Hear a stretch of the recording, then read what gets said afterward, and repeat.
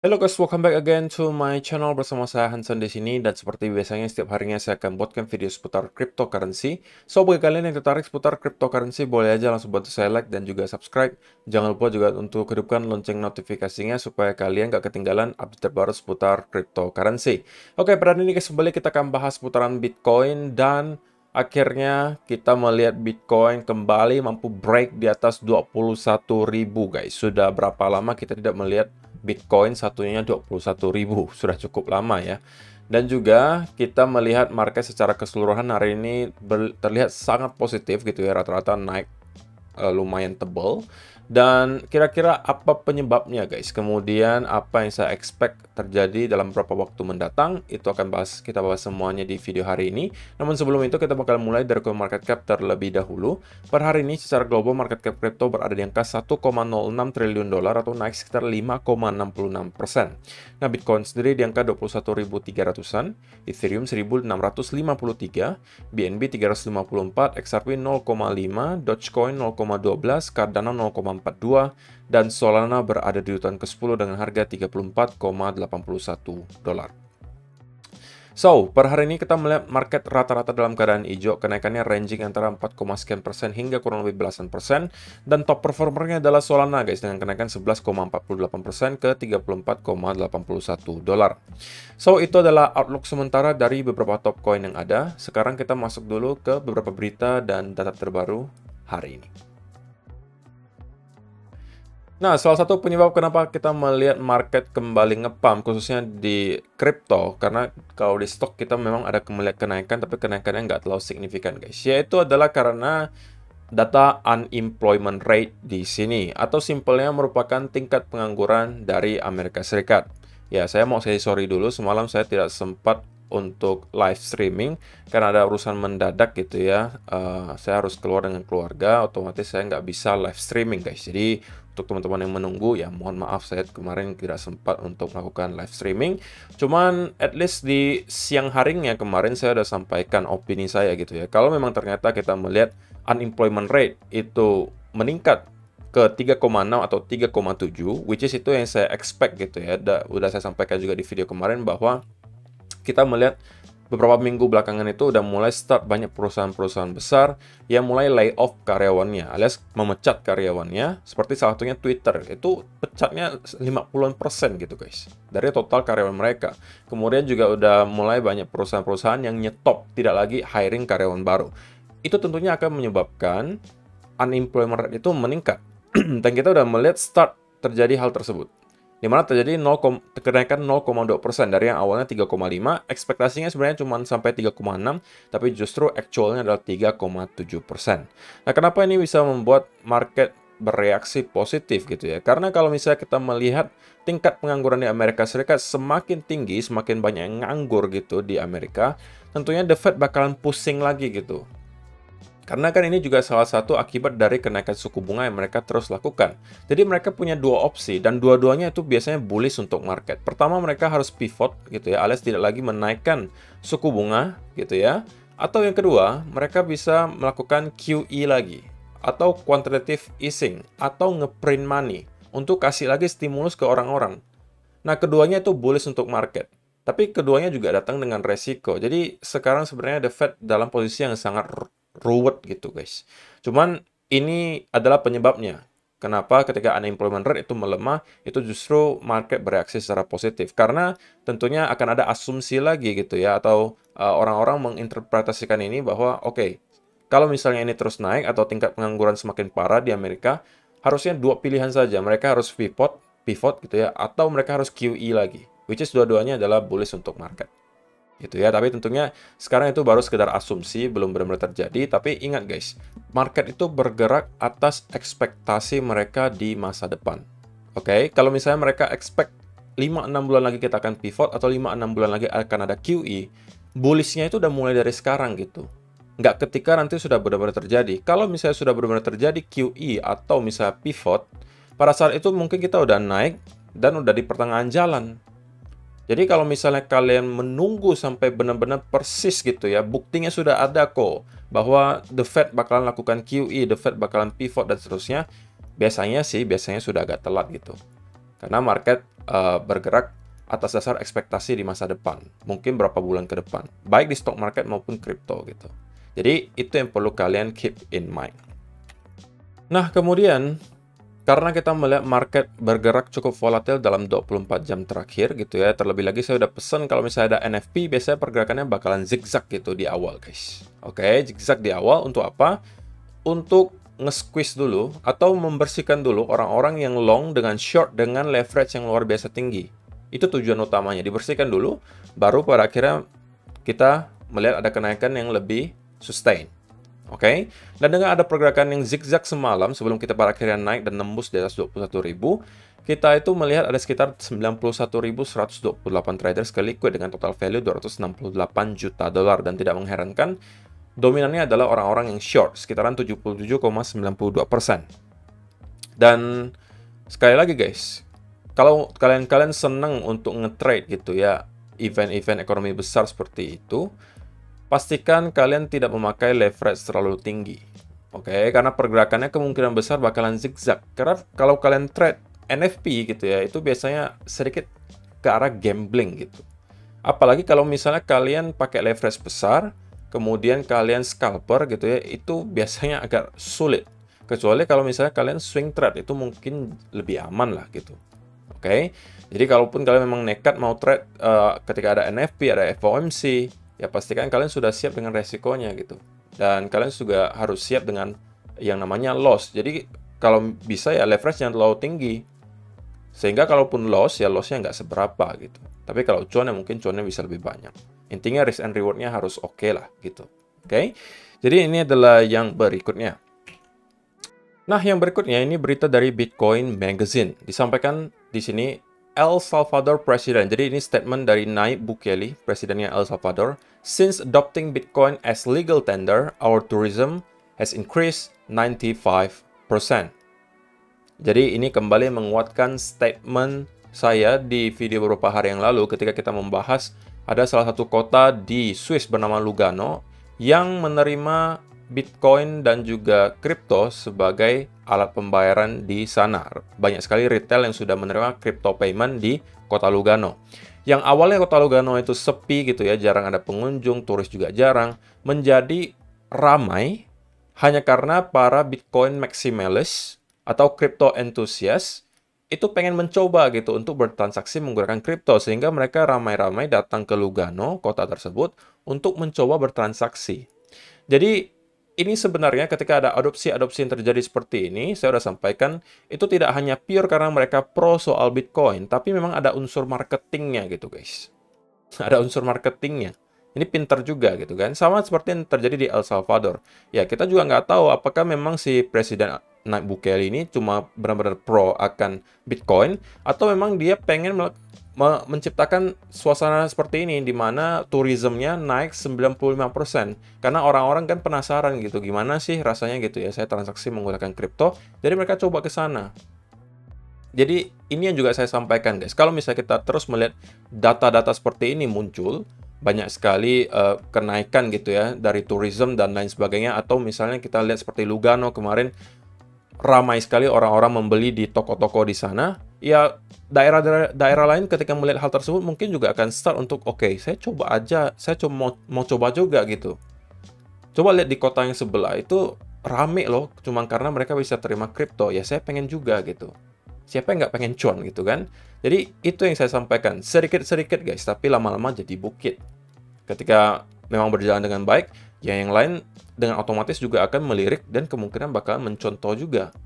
Dan ketika hal tersebut terjadi, semakin lama semakin banyak dan kita masuk ke fase adopsi massal. Dan kalian harus uh, bersyukur karena kalian sudah berinvestasi ketika kita masih berada di fase adopsi awal.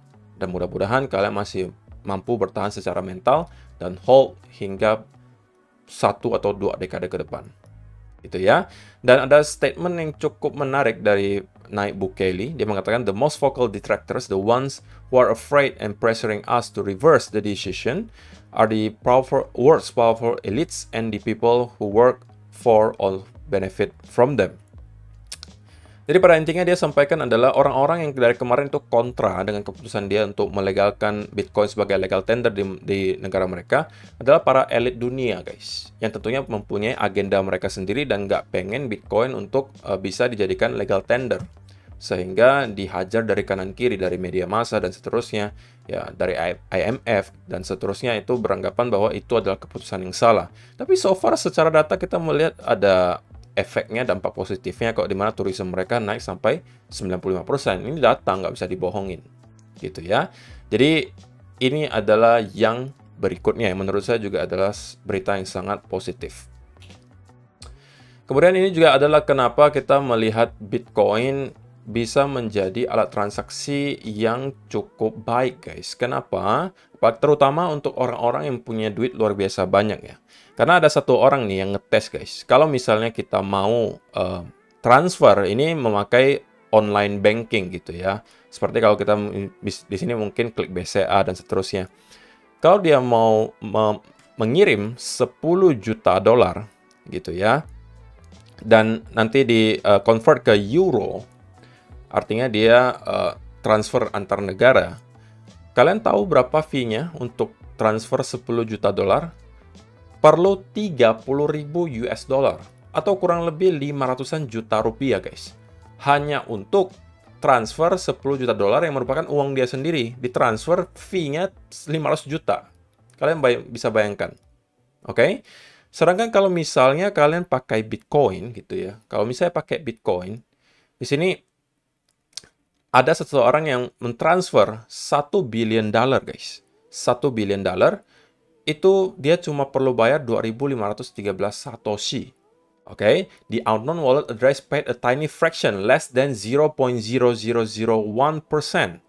of the total value transacted. Put, put simply, the user paid 50 cents to move double the GDP of Bitcoin-friendly island of Tonga. Jadi, dia cuma bayar fee-nya 50 sen, guys. Nggak, nggak sampai 1 dolar untuk ngirim 1 billion dollar. Oke, okay? Inilah salah satu kenapa alasan kenapa Bitcoin bisa menjadi salah satu aset kelas gitu ya yang dipegang oleh para para uh, orang-orang kaya. Karena kalau mereka mau melakukan sesuatu, mau bertransaksi itu nggak perlu ribet, harus berurusan dengan bank, harus tanda tangan ini dan itu, ditanya kenapa mau transfer sebanyak ini, kenapa ke sini, apa tujuannya. Uang uang dia sendiri kok gitu kan.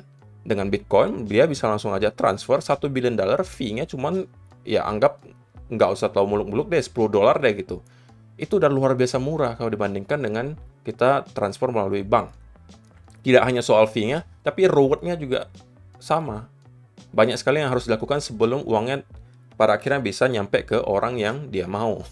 Gitu ya. Jadi itu adalah beberapa berita hari ini. Kemudian ada dari segi data on-chain dari Will Clemente juga disampaikan ini adalah cost basis analysis. Just gonna leave this here. Jadi pada intinya setiap kali kita melihat ada indikasi yang berwarna hijau di sini, oke, okay, alias Bitcoin bergerak di bawah harga cost basisnya, oke, okay, di bawah satu, biasanya itu adalah saat-saat yang sangat baik untuk melakukan akumulasi. Beberapa kali terakhir kalau kita perhatikan di 2012, kita berada di bawah area ini itu adalah area bottom bear market. Di sini juga sama, di sini juga sama, dan kali ini kita juga melihat hal yang serupa terjadi. Jadi untuk indikator ini juga menunjukkan bahwa kemungkinan kita sudah berada di area area bottom bear market ya guys. Bukan persis tapi ini menunjukkan areanya. Sekali lagi, kalau misalnya nanti di cycle berikutnya Bitcoin sudah berada di 6 digit, Apakah kalian akan peduli guys kalau kalian beli di 18.000, 17.000, 16.000? Bedanya bakalan tipis banget. Yang bakalan lebih nyesek itu adalah kalau kalian menunggu misalnya 10.000, 8.000 tapi nggak nyampe. Lalu kita justru membentuk bull market baru dan nyampe ke 6 digit, kalian cuma bisa gigit jari. Jadi jangan sampai hal tersebut terjadi ke kalian. Sekali lagi saya cuma pengen pesan jangan sampai kalian fanatik ke salah satu senario. Sebelum kita masuk ke chart, untuk kalian yang belum punya account Mitrade, saya sampaikan lagi di sini kalian bisa trading di semua aset kelas. Yang di mana semua aset kelas sekarang lagi volatil banget, forex, komoditas, saham, dan seterusnya itu lagi volatil, jadi kalian bisa manfaatkan kesempatan di aset kelas tersebut di account Mitrade. Oke, okay? dan lagi-lagi saya sampaikan kesempatan kalian untuk mengikuti event atau kerjasama saya dengan Mitrade itu masih ada, di mana kalau kalian daftar di link yang ada di kolom description box di bawah, kemudian deposit minimal 50 dolar dan aktif trading. Ketika dinyatakan valid, kalian berkesempatan menangkan reward 200 ribu rupiah cash saya kirimkan langsung ke rekening kalian. Plus, ada belasan ebook yang juga akan saya kirimkan. Ebooknya berisi investasi, uh, trading, dan sebagainya. Nah, jadi itu adalah beberapa data dan berita hari ini yang pengen saya sampaikan untuk kalian. Sekarang kita langsung masuk aja ke chartnya Bitcoin. Jadi untuk uh, sementara, uh, sesuai dengan yang kita sudah bahas di video kemarin, saya sampaikan guys ketika saya melihat price action dari pergerakan di sini, itu cenderung sangat korektif yang membuat saya merasa ini sepertinya adalah bullish consolidation sebelum pada akhirnya kita akan melihat impulsive move berikutnya ke atas. Dan untuk sementara sepertinya kita udah melihat hal tersebut persis terjadi. Ketika kita breakout dari trendline di sini gitu ya, kita sempat di retest lagi. Ini adalah akibat NFP kemarin. Oke, pergerakannya zigzag. Yang pertama dia mencuci dulu orang-orang yang long, oke. Dan ini kita kemudian di pump ke atas. Ketika banyak yang long, dia juga cuci dulu belum pada akhirnya kita kembali naik ke atas dan sekarang berada di sekitaran area 21.300-an. Untuk sementara tentunya ada beberapa hal yang perlu kalian keep in mind. Kalau misalnya kalian sudah sempat masuk di sini misalnya, mungkin sudah saatnya untuk minimal kalian menggeser stop loss kalian ke arah entry atau mungkin kalian merasa sudah cuannya cukup kalian mungkin bisa uh, take profit sebagian.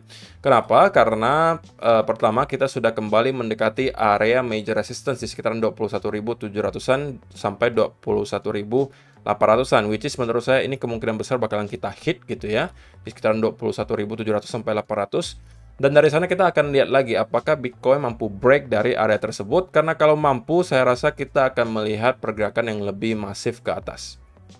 Gitu ya. Jadi untuk sementara gitu ya, uh, saya rasa kalian perlu was-was kalau misalnya belum sempat masuk ya jangan dulu masuk guys sekarang. Kenapa? Karena kita sudah mendapatkan pump yang lumayan kalau kita ukur dari low terakhir di sini itu udah sekitaran eh, 7% gitu dalam kurun waktu ya 1-2 hari terakhir. Dan di one hour chart juga tentunya atau di 15 minute chart kita juga melihat ada uh, indikasi triple bearish divergence di sini. Oke, okay? di mana kita melihat ada indikasi ada higher high tercipta di sini, oke. Okay? Tapi di indikatornya kita terus membentuk lower high. Jadi ada bearish divergence tercipta. Jadi ini yang membuat saya sedikit uh, agak khawatir gitu ya bahwa kita kemungkinan bisa kembali mendapatkan semacam koreksi. Kemungkinan untuk kembali ngeretes lagi ke sekitaran area 21.000 yang menurut saya ini wajib untuk kita pertahankan gitu guys ya. 21.000 dan juga area 20.800. Ini yang saya uh, bahas juga di video TikTok saya semalam. Kalau misalnya kalian belum sempat follow, mungkin bisa uh, follow dulu. Saya sampaikan saya pengen ngelihat Bitcoin untuk mampu stay di atas 20.800 dan saya bisa melihat dia akan melanjutkan kenaikannya. Dan kita persis bertahan di sekitaran area tersebut sebelum pada akhirnya kita bounce dan kembali naik di, di sekitaran uh, 1.000 lagi guys. Dan sekarang tentunya uh, kita atau saya pribadi mungkin bisa expect bahwa Bitcoin akan mendapatkan semacam uh, pelemahan momentum bullish gitu ya. Tapi bukan berarti kita akan langsung drop seperti ini guys. Tapi kita bisa jadi pelan-pelan dropnya. Tapi dropnya juga belum tentu kita akan reversal tapi bisa jadi cuman adalah konsolidasi. Oke, okay? kalau misalnya ini yang terjadi konsolidasi lagi dan kita mungkin menyentuh ke beberapa area di sini 21.000 atau sekitaran 20.800 sebagai area major supportnya, maka dari sana kita kemungkinan bisa lagi mencari setup untuk long. Gitu ya. Jadi yang pada intinya pengen saya sampaikan untuk kalian yang belum sempat masuk, jangan sampai masuk di sini gitu ya karena kalian bisa jadi belinya di pucuk. Tapi kalau kalian sudah masuk, at least kalian sudah geser stop lossnya ke entry atau kalian sudah uh, mendapatkan uh, take profit sebagian. Jadi untuk beberapa waktu mendatang, saya bisa expect Bitcoin untuk sedikit terkoreksi, tapi mungkin tidak langsung seperti ini ya guys. Mungkin kita bisa sedikit merangkak dulu naik ke atas, mungkin ke sekitar 21.600-an. Lalu dari sini kita akan start untuk mendapatkan koreksi dalam tersebut. Nah dari koreksi ini, ini yang akan kita lihat guys. Secara price actionnya seperti apa? Apakah sell off yang terjadi dengan momentum yang sangat deras gitu ya, alias sangat impulsif ke bawah, Kalau ini berarti kita bisa jadi sudah menyelesaikan relief rally-nya karena ingat ini bisa jadi hanya sem semuanya relief rally sebelum pada akhirnya kita membentuk lower low baru. Tapi kalau kita melihat di time frame yang besar mungkin di sekitaran 4 hour chart kita dapat uh, melihat ada bullish consolidation. Ini adalah scenario paling idealnya guys. Karena kalau ini yang terjadi maka kemungkinan besar kita akan bisa melihat Bitcoin untuk meneruskan uh, kenaikannya yang paling ideal itu modelnya seperti ini guys. Kalau ini kan versi bearishnya gitu, kita membuat ada semacam bearish flag gitu kan sebelum pada akhirnya kita drop. Nah, kita pengen lihat yang versi bullnya gitu guys. Ada semacam konsolidasi sebelum pada akhirnya kita akan melanjutkan impulsive move lagi ke atas. Mungkin bisa menargetkan ke sekitaran area 22.500an. Sesimpel itu guys. Jadi untuk short term, saya mungkin melihat Bitcoin akan merangkak sedikit ke atas lagi. Oke, okay? menuju ke 21.600an sebelum pada akhirnya kita akan mendapatkan semacam koreksi yang dalam. Oke. Okay? Nyampe-nya ke mana? Bisa ke beberapa tempat, 21.000 atau 20.800, ini bisa menjadi areanya. Kalau kita bantu dengan Fibonacci retracement, maka kita juga akan temu ini adalah sebagai area 0,5-nya, ini adalah sebagai area 0,382-nya. Oke, okay? jadi itu aja sih yang perlu saya sampaikan untuk video hari ini guys. Semoga bermanfaat untuk kalian semua. Terima kasih yang sudah menonton sampai selesai. Kita bakalan ketemu lagi di video yang berikutnya. Bye-bye.